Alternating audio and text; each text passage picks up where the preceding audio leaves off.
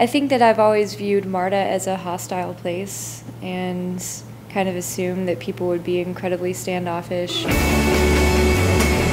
train is bound for H2 Station.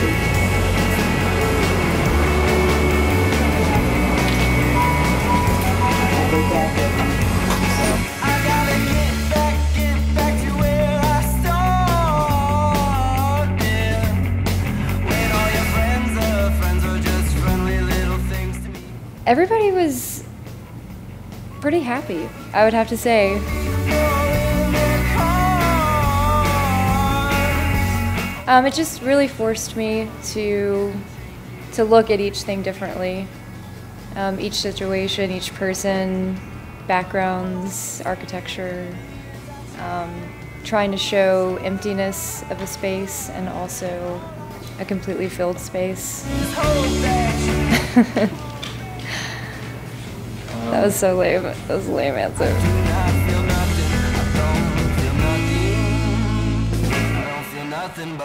The show is in transit. It is five artists with different mediums and different ideas, different personalities coming together and creating something simultaneously. We want it to feel like you're walking in and like you've been on MARTA for 12 hours too.